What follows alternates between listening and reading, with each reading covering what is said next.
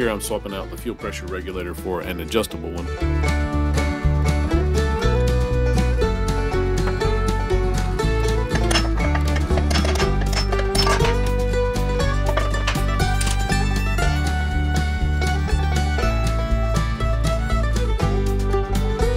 Alright guys, so this is the XFI camshaft from Comp Cams.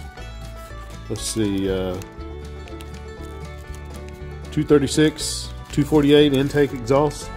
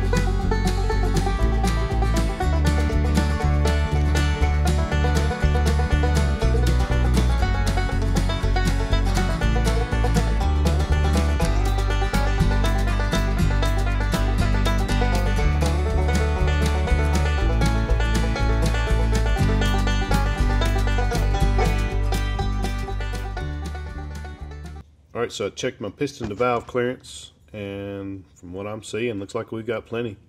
We could go right much more lift if we wanted to. As you can see right here, the intake valve just barely touches the Play-Doh and doesn't touch it all over here on the exhaust side.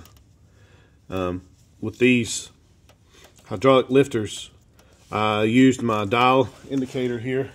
I set it up on the block and uh, put it on top of the spring and use that to make sure I was getting the full 579 thousandths of lift that um, I'm supposed to get with this cam.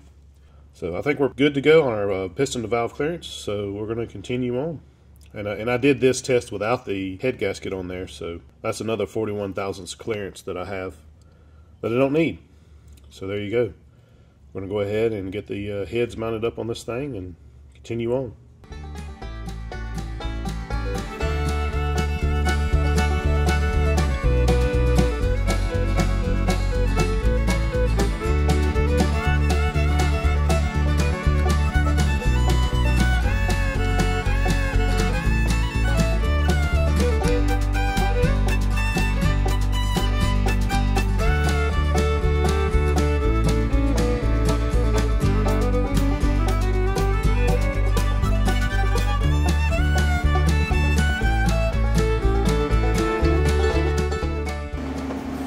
Guys, we have to weld these guide plates. Try to weld them and not screw up.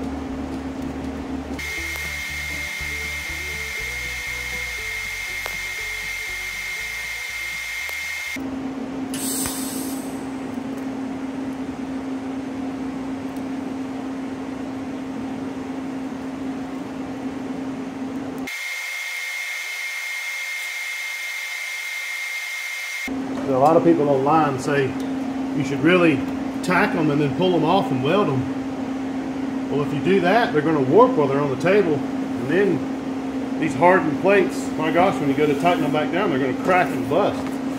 So I think they were mostly talking about MIG welding though, with all the spatter from MIG weld. So that's why we're TIGging. TIG creates, no spatter. Nice clean weld. And the aluminum head, I mean, it's already cool to the touch.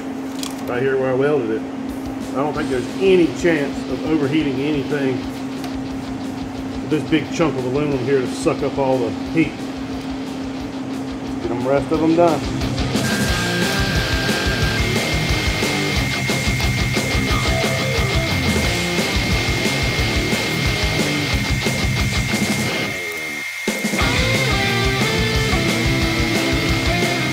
All right, got them all welded. That wasn't near as bad as I thought it was going to be. Luckily with the lift, you can adjust the thing and get it the right height, so it's very easy to weld and get it right where you need it. Hardest part was dragging all this welding equipment over here.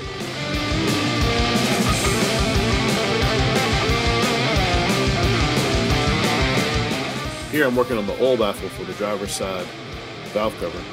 Um, it does hit right there where the oil baffle was, so I'm going to grind all that material away. The passenger side valve cover, believe it or not, fits even without the gasket. Thank you guys for watching. I'll have more videos coming up real soon. We'll get this car put back together and get it back on the dyno.